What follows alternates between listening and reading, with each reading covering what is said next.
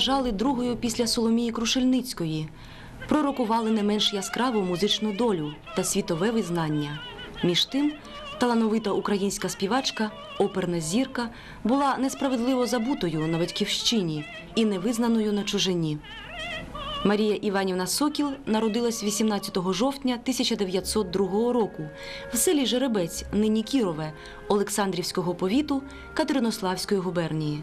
Доля склалась так, що більш ніж півстоліття прожила в Сполучених Штатах Америки, але серце її тужило за рідним краєм і за людьми, яких знала і любила.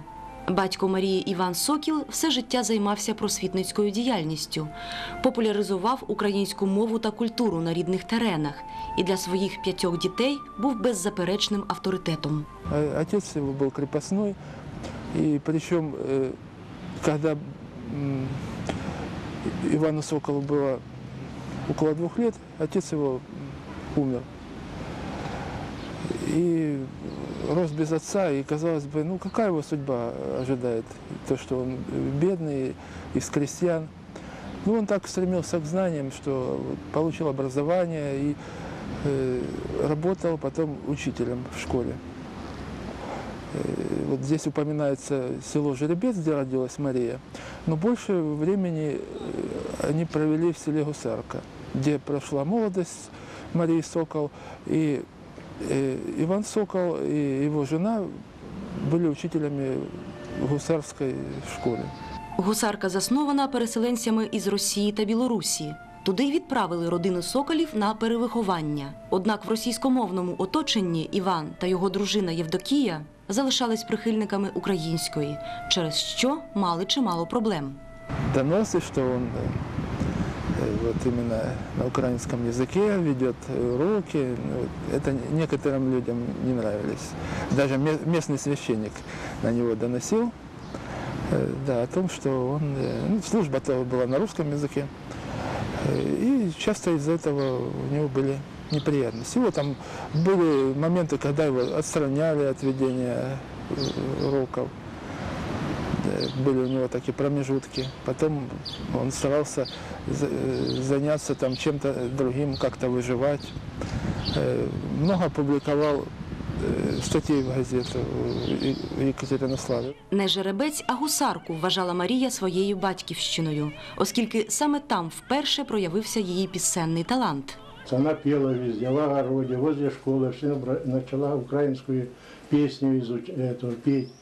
Уже видно было, что она уже талант. Это юный талант. Отец увидел ее, не, не препятствовал. Отец сказал, ну что, что я могу дать вам, э, простой э, сельский учитель? Говорит, Ну образование я, я вам дам. До 19-го року родина прожила в гусарці.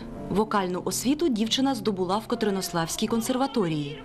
З нею вчився й майбутній корифей національної оперної сцени Іван Паторжинський. Юним співакам часом доводилося виступати й у прокурених тютюном залах. Але любов до співу була такою великою, що допомагала здолати труднощі на шляху до кар'єри оперного співака. У середині 20-х Марію запросили до столичної Харківської опери, де протягом трьох років була солісткою.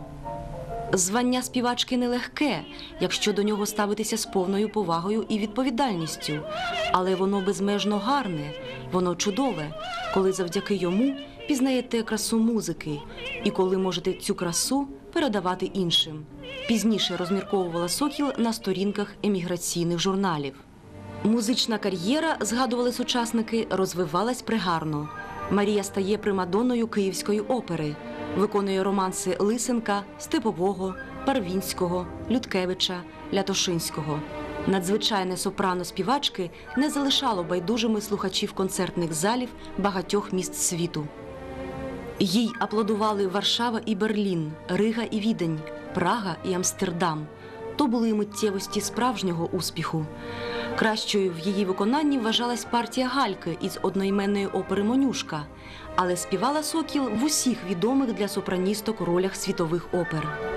У Києві Марія познайомилась із майбутнім чоловіком, молодим композитором Антоном Рудницьким, який приїхав із Львова працювати диригентом. Творча співпраця продовжилась до 37-го року, коли молоде подружжя виїхало до Галичини з уваги на арешти та переслідування друзів, письменників і композиторів. В Німеччині в той час при владі були нацисти. Тому у 39-му році, під час гастролей Америкою, музиканти вирішили не повертатися додому. Оселилися в 100 кілометрах від Нью-Йорка на околиці містечка Томс Рівер Збудували невеличкий будиночок у мальовничому місці поряд із лісом. Ее ж никто вообще не признавал. Она открыла на 5 тысяч э, куриную ферму открыла, чтобы можно жить. Хату вона свою построила не за своє пение, Да. а за курей, за яйця В продавала. Америке очень тяжело это. Да. Вона от это от, де от там ліс є, от там були курятники. Вон там по фотографіям. От, і вона продавала яйця, і вона купила собі дом, двохетажний дом. Трех. Трьох, ну там горище теж кімнати є. Такий в неї домик стояв. І рядом дом, а більше, а більше нічого не ліс через дорогу, там магазини для пенсіонерів. От такий домик. Далеко їздить, дві машини було в неї. Ну, в общем, вона заробила не, пі, не за тим, не тим, що вона співає. Приголомшливого успіху вже не було, але на кращій оперній сцені Нью-Йорка лунав голос талановитої української співачки.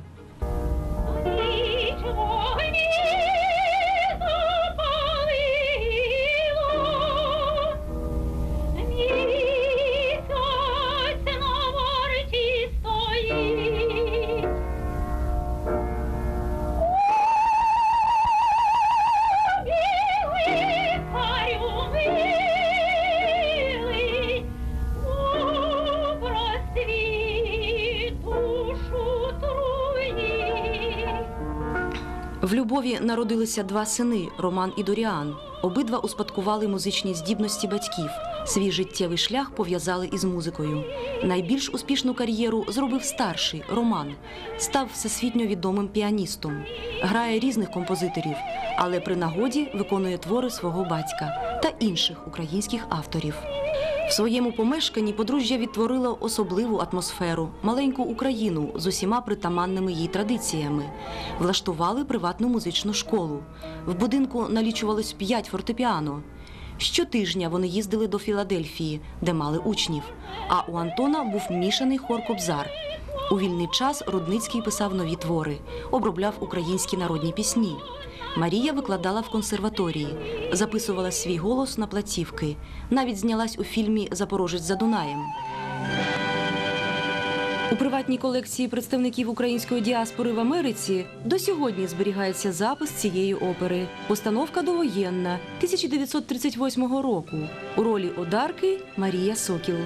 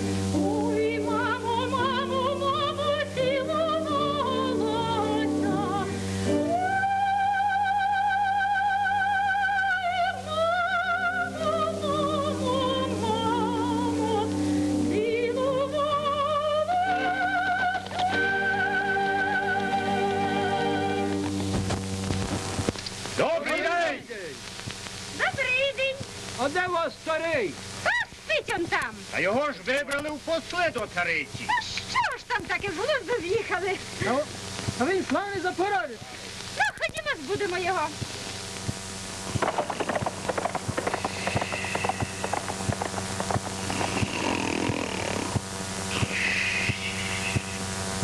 Давай, сплюхо. І чіпи ще рано. Та де там рано? Головку води та візейка стане. Е, зброї. За зброю ти чого Та чого ти кричиш? Он запорожці прийшли до тебе. А, здорові мої любі. А що нового? Лихо, Іване! Що таке? Катерина, цариця взяла знищити Запорозьку січ. Та що вона збожеволіла чи що? От і бач, нас і тебе вибрали у послів до цариці. Бачиш, жінка, ти кажеш, що нічого не варта, а мене в посли вибрали. Одного боюсь, щоб цариця в мене не влюбилася.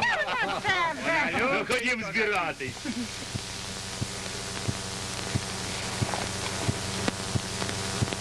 Прощай, моя жіночка. А гостинці мені привези. Тарас. Завдяки підприємницькій діяльності жінка змогла перевести до себе спочатку сестер і братів, а потім допомогти облаштуватись в Америці ще 40 сім'ям із України. Приезжали, останавливались у нее. Какое-то время там жили. Кто-то месяц, кто-то два месяца.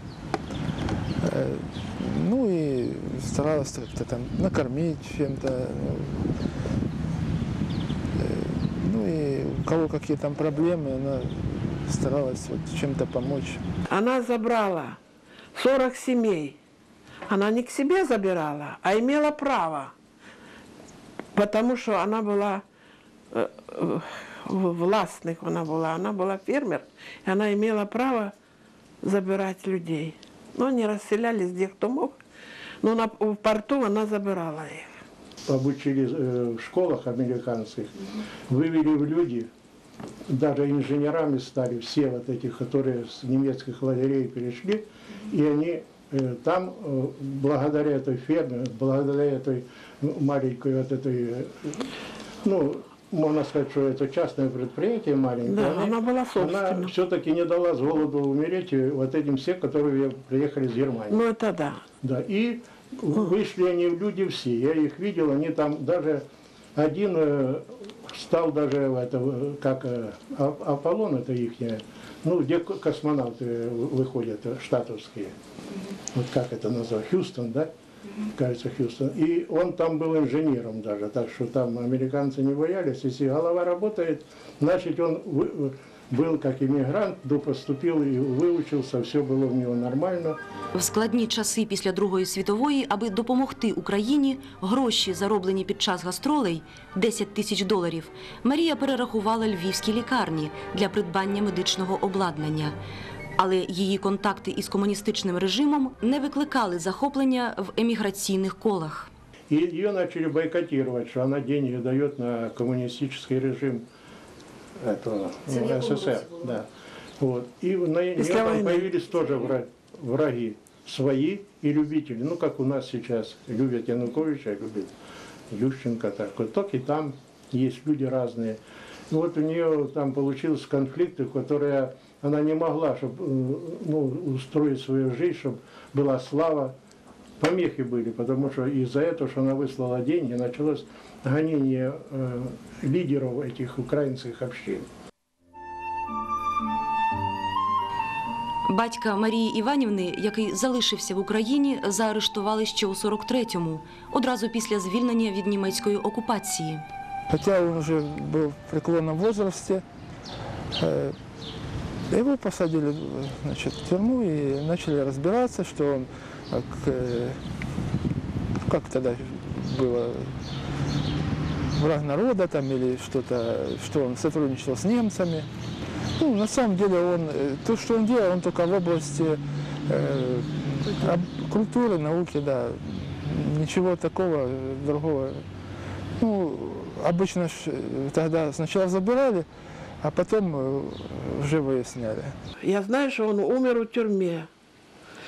А с ним вместе сидел один еще тоже дальний родственник, тоже по этому делу за украинизацию.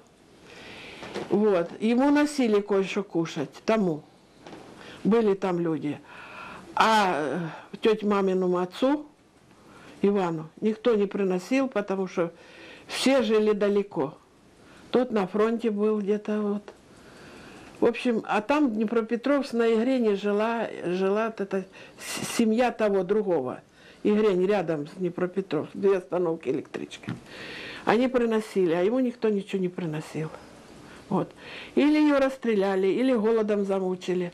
Ну где его хоронили, где выкинули, ничего не, никто ничего не знает.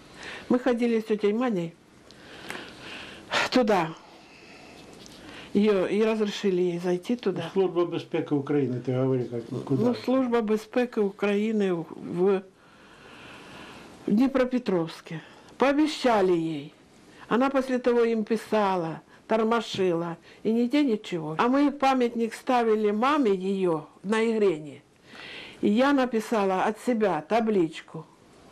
Вот этого Ивана, когда он родился и когда умер, табличку сделала специально на те- и написала, тут покоится прах Ивана, Сокола Ивана, не знаю, забыла как отчество.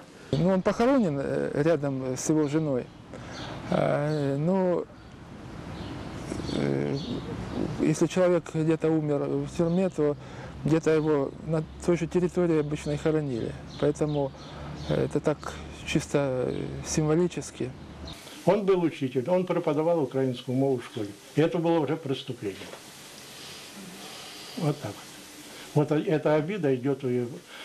Она сама украинская, так вот, патриотическая, а тем более и отца уничтожили. Он не был никем таким, что надо было уничтожать. Так і не простила Марія радянській владі втрати батька. Тривалий час чекала ліпшої долі для України. Відомий англійський імпресаріо Сол Гурок намагався заангажувати її на концерти, але за умови, що вона буде представлятися радянською артисткою. На що Марія відповіла, що може виступати лише як українська співачка, після чого отримала відмову.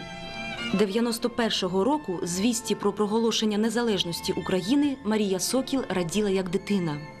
Вона написала мені письмо і каже, що ви там собі думаєте? Я тут і сміюсь, і плачу. Україна стала вільна, а ви там що думаєте? Ну, письма ж швидко не йдуть.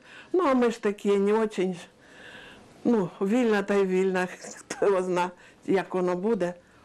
От. А вона ж хотіла, щоб вільна була, думає, як звільниться, то все буде все тут хорошо. Так як вона хотіла, що буде тут Україна самостійна, незалежна, будуть не притісняти українців, будуть балакати на українській мові. І коли я, ми там були в гостях у неї, от, і я, а ми ж тут як балакам з суржиком. І оце як я скажу, що якесь слово там, що там, ну, ну, русське слово. Вона каже, ти що? Ти що, не знаєш, як по-українськи сказати? Ти думаєш перед тим, що ти кажеш? Обох нас воскресили на батьківщині, писала Марія Іванівна в листах до родичів. Вже на схилі віку, у 92-му році, вперше після більш ніж півстолітньої перерви, професор Філадельфійської консерваторії, співачка Марія Сокіл відвідала Україну. До Київського оперного театру, в якому колись була примадоною, привезла партитуру опери свого чоловіка Анна Ярославна. Він мріяв поставити її в рідному театрі. І ту п'єсу взяли, в общем, м, репетировать. Вот этот, там був Макренко був директором, Гнатюк був режисером, і я там була при ній. Пообіцяли, і через год буде поставлена. Ну, вийшло, що через три роки. І от вона приїжджала на прем'єру Анни Ярославни. І я теж, він їздив туди, брат і я. Вот. Повний театр був. Полный основной вот этой плюс Потому- был, ну, ну, все вот эти, которые у власти были при Кучме, мы их там видели в фойе, вот, понимаете, было э, поставлено очень хорошо все. А всю вот эту э, материю, довольно-таки одежду Франция дала. Она заплатила большие деньги в Париже, и там ее знакомый, ну как он называется, партитура или как, я не могу правильно сказать, ну вот что одежда, потому что Анна Ярославна это не наш же век, а старый. Вот были все артисты пошиты в В Франции. бархате красиво. В бархате такое, парча. И все оттуда она заложила средства через Париж. Музыку э, написал ее муж, да. Э, Ну, его уже-то не было в живых, но она, вот у нее было такое желание все-таки увидеть э, вот эту постановку э, на Украине. Ну и вот это осуществилось, хотя она была уже э, в возрасте, тяжело это, да, она все-таки приехала э, в Киев и побывала на этом мероприятии, там очень так ее хорошо встретили. Была тогда, в интернете есть статья, это «Зеркало недели» тогда об этом опубликовала информацию. Хотя многие об этом как-то даже и не заметили этого. На прем'єрі був присутній і перший президент України. Марія Іванівна дуже хотіла привітати його особисто. А вона дуже погано ходила вже. У неї поміняли їй кості. От це, от, Ну, тут, і тут, і тут. Таз поміняли повністю, желізні були. І вона з ними прожила 15 років. Їй треба було їх витягувати і нові ставити, але вона побоялася. Так вона ж боялась з- з- його, щоб пропустити, а я стою. От. Прямо що йому не можна, Она не каже, могла уйти пройти. никуда. А он идет, и ну, он увидел, что она не транспортабельная, и просто они так встретились. Ну и комплименты ему сказала. Что вот вы доведите Украину до ума, которого он не довел до ума, так сказать. Так что она встретилась и с вождем. Да, вона сказала своє, то, що вона дуже рада, що Україна стала незалежна. І от я думаю, що буде, буде, буде все гаразд. Всегда она как э, вспоминала и Гусарку, где провела детство, и Днепропетровск, где получила образование. Вот в каждом своем интервью м, она вспоминала это. Я тілом старіюся, а розум працює. Сподіваюсь, що мій фонд матиме успіх, а свідомі українці тут, у вас, мене підтримують. Треба починати з п'єдесталу, з малих дітей, вчити своєї мови, хто вони і як називаються. Вже перед смертю вона писала так уже з строчки з'їжджала, з'їжджала, з'їжджала, з'їжджала, дуже погано. А все писала, будьте людьми, єднайтеся, будьте людьми. От, щоб, е, щоб Україна була сама незалежна. Боріться за Україну. Хто ж бореться? Ну як боротися за Україну? Померла українська співачка у 2000-му, не доживши два роки до свого сторіччя. Ровесниця ХХ століття вона пережила разом із ним всі найдраматичні події. Була громадянкою світу, але залишилась послідовною українською патріоткою і все життя підтверджувала це конкретними справами.